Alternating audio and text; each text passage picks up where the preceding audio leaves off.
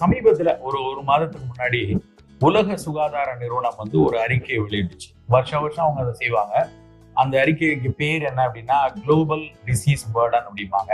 அதாவது உலகம் முழுக்க ஒவ்வொரு நாடுகளுக்கும் என்ன மருத்துவ சவால்கள் வருது அப்படிங்கிறத பத்தி உலகத்துல உள்ள மிக மிக முக்கியமான மூத்த மருத்துவ அறிஞர்கள் எல்லாரும் கூட்டாக எழுதக்கூடிய ஒரு அறிக்கை. அதுதான் வந்து அந்தந்த நாட்டினுடைய நல கொள்கைகளை திட்டமிடுறதுக்கு அதுதான் இருக்கும். அந்த அறிக்கை இந்த வருஷம் செப்டம்பர் மாதம் வெளியான அறிக்கையில ரொம்ப வேதனையான ஒரு விஷயம் என்ன அப்படின்னா பல பத்து பன்னெண்டு வருஷமா நம்ம வந்து சக்கரை வியாதியை பத்தி பேசிக்கிட்டே இருக்கோம். ரொம்ப இனிப்பு சாப்பிடாதீங்க உடல் உழைப்பு கூட்டுங்க. ஆஹ் ரொம்ப கார்போஹைட்ரேட் எடுக்கக்கூடாது மன உளைச்சல் இருக்கக்கூடாது சக்கரை குடிக்கிட்டே இருக்கு. அப்படிலாம் பேசிக்கிட்டே இருந்தோம். இந்த ஆண்டும் நாம் வந்து உலக நாடுகளுக்கெல்லாம் முன்னணியில சர்க்கரை வியாதிகள் கூட்டம் அதிகம் உள்ள நாடாக இந்தியா வந்திருக்கு. அது மட்டும் பிரச்சனை இல்லை. இந்தியாவில் இருக்கிற முப்பத்தோரு மாநிலங்கள்ல தமிழ்நாடு சர்க்கரை நோயாளிகளினுடைய தலைநகரமா இருக்கு இது இன்னும் வேதனையான ஒரு விஷயம். ஏன் இப்படி கூடிக்கொண்டே இருக்கு? நாம வந்து ஒரு பத்து வருஷமா இதை பத்தி ரொம்ப பேச்சு இருக்கு அப்படின்னு எடுத்தா ஒரு பத்து பதினஞ்சு வருஷமாவே பாத்துருங்க பாத்துருங்க இனிப்பு சக்கரை எடுக்கக்கூடாது வெள்ளை சக்கரை வேண்டாம் அப்படிலாம் நம்ம பேச ஆரம்பிச்சு பத்து பன்னெண்டு வருஷம் ஆச்சு. ஆனாலும் இது கூடிக்கொண்டே இருக்கு. இந்த வருஷத்துல இன்னொரு ஒரு பயமுறுத்துற மாதிரி வேதனைப்படுத்துற மாதிரி ஒரு விஷயம் என்ன வந்திருக்கு அப்படின்னா இவ்வளவு நாள் வந்து ஆஹ், வெள்ளை சக்கரை அதிகம் எடுக்கிறது மரபு ரீதியா தாய் தந்தையருக்கு இருந்தா வரும் அதுக்கப்புறம் உடல் உழைப்பு குறைவா இருந்தா வரும் அப்புறம் மன உளைச்சல் அதிகம் இருந்தா வரும். இப்படிலாம் வந்து காரணங்கள் படிச்சுட்டு வரணும். இந்த வருஷம் என்ன சொல்லியிருக்காங்க அப்படின்னா அந்த அறிக்கையில காற்று மாசுபடுதல் சக்கரை வியாதி கூடுறதுக்கு ஒரு முக்கியமான காரணமா சொல்லியிருக்காங்க. யோசிச்சு பார்க்கவே முடியல.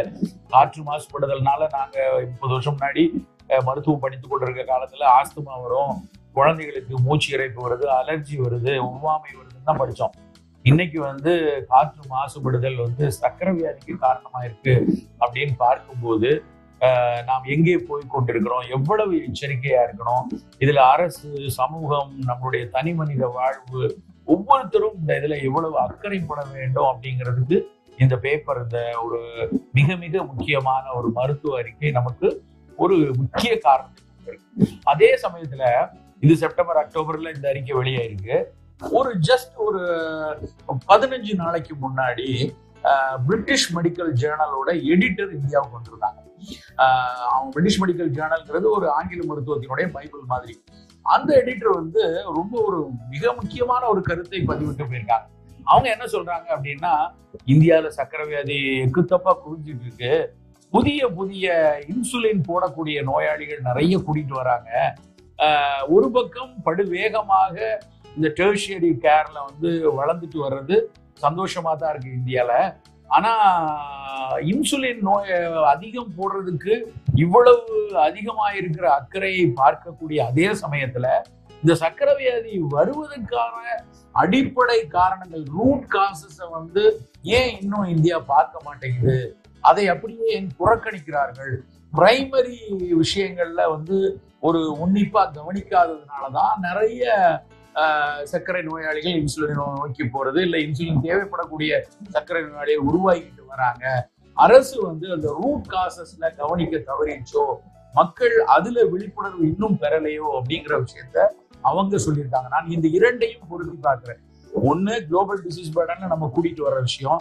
இன்னொன்னு ஒரு மருத்துவ அறிக்கையில நம்ம ரூட் காசை பார்க்காம போய் கொண்டிருக்கிறோம். இந்த ரெண்டு விஷயம் இன்னைக்கு நீங்க யோசிக்க வேண்டிய ஒரு முக்கியமான ஒரு புள்ளி. அந்த விஷயத்துல சக்கரை வியாதி வந்ததுக்கு அப்புறம் நான் வந்து தினம் காலையில வந்து ஆறி கொண்டு ஓடுவேன். சக்கரை வியாதி வந்ததுக்கு அப்புறம் வெள்ளை சர்க்கரை எல்லாம் அதுக்கப்புறம் நான் அரிசியை வந்து ரொம்ப குறைச்சிக்கிறேன். பாலிஷ் அரிசியை மைதாவை எடுக்காம இருக்கிறேன். இப்படிலாம் யோசிக்கிறது புத்திசாலித்தனம் இல்லை.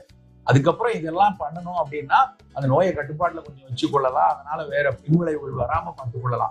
ஆனா குணப்படுத்தி துடைத்து எறிவதுங்கிறது சாத்தியம் இல்லை. இருக்குங்க அப்படி இருக்கும்போது வராமல் காத்துக் கொள்வதற்கு இன்றைய இளைய சமூகத்தை பாதுகாக்க வேண்டியது நம்ம அத்தனை பேருடைய கடமை.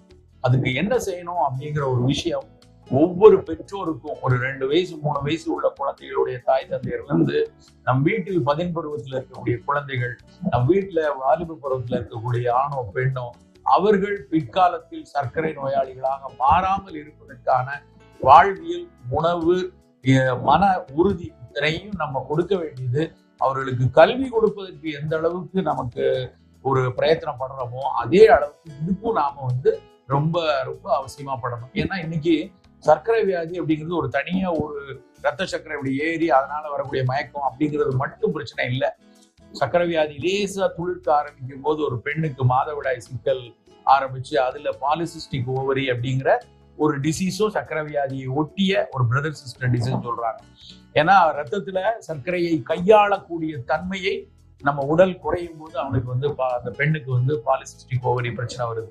சர்க்கரை ஒரு ஆரம்ப கட்ட நிலையில ஒரு நோயா மாறுவதற்கு முன்னாடி நாம ஒரு அந்த அதை அடையாளம் கண்டு இவர் வந்து சர்க்கரை நோயாளி ஆயிடுவாரு அப்படிங்கிற ஒரு விஷயம் தெரிந்து அந்த நேரத்திலேயே நம்ம கொஞ்சம் முனைப்பெடுத்தாலே அந்த பெண்ணுக்கு பாலிசிஸ்டிக் ஓவரி வராம பார்த்து கொள்ளலாம். அந்த பையனுக்கு வந்து வெகு விரைவா முப்பத்தஞ்சு நாற்பது வயசுல எல்லாம் சர்க்கரை வர வராத அளவுக்கு நம்ம பார்த்து கொள்ளலாம். இதைத்தான் வந்து ஐஜிடி லெவல் அப்படிம்பாங்க. இம்பேர்டு குளுக்கோஸ் டாலரன்ஸ்னு முழு சர்க்கரை வியாதி வர வேண்டாம். அதுக்கு முன்னாடி அவன் சர்க்கரையை கையாளக்கூடிய தன்மையை உடல் குறைந்து கொண்டு வருதுங்கிற ஒரு இடத்துலயே அவரை வந்து நாம வந்து மாற்ற வேண்டிய ஒரு கட்டாயத்தில் இந்த இடத்துல உணவு மிக மிக முக்கியமான ஒரு விஷயம். அந்த உணவுல வந்து எடுக்கக்கூடிய கவனம் அப்புறம் உடல் பயிற்சி அப்புறம் உள்ள நலம்.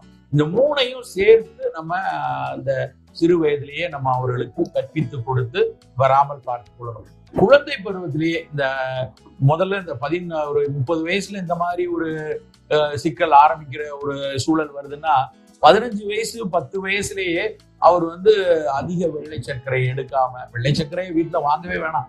அது வந்து ஒரு தேவையற்ற ஒரு பொருளாகவே நாங்களெல்லாம் என்ன சொல்றோம் அப்படின்னா மது புகை மாதிரி வெள்ளை சர்க்கரையை வேண்டாம். நமக்கு அது அவசியம் இல்லாத தேவையற்ற ஒரு பொருள். ஏதாவது ஒரு சிறு பயன் இருக்கிற பட்சத்துல அதை நம்ம வச்சுக்கலாம்னு எடுத்துக்கலாம்.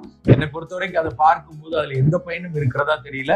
தேவையில்லாத ஒரு அச்சம் தான் அதுல வந்து கொண்டே இருக்குது. அதை விளக்கிடுவோம். இனிப்பு தேவைப்படுற இடத்துல ஒரு நாட்டு வெல்லமோ பனங்கருப்பட்டியோ தேனோ எது கிடைக்குதோ எடுத்துக்கொள்ளலாம் குழந்தை பருவத்துல இருந்தே அந்த குழந்தைக்கு இனிப்பு தேவைப்படுற நேரத்துல எல்லாம் வெள்ளத்தை கொடுப்போம் கருப்பட்டியை கொடுப்போம். வளர்ந்து ஒரு முப்பது வயசுல வந்ததுக்கு அப்புறம் குறைஞ்சிக்கலாம் சர்க்கரையை. இன்னைக்கு வந்து ரொம்ப ரொம்ப முக்கியமானது உணவில் வெள்ளை சர்க்கரையை வந்து விளக்குறது. அதை ஆரம்பத்திலிருந்தே குழந்தை பருவத்திலிருந்தே விலக்கி சர்க்கரை தேவைப்படக்கூடிய இடத்துல நாட்டு வெல்லம் இந்த மாதிரி விஷயங்களை பயன்படுத்தி கொண்டாலே இந்த முதல் கட்டம் நாம் வந்து சரியாக நகர்த்துவது போல இருக்கு.